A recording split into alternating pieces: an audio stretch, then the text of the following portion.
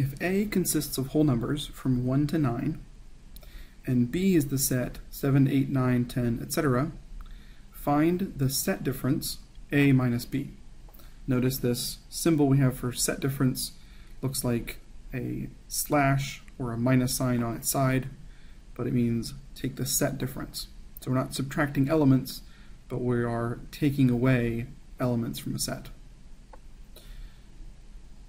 So here we have A, which is the numbers 1, 2, 3, all the way through 9.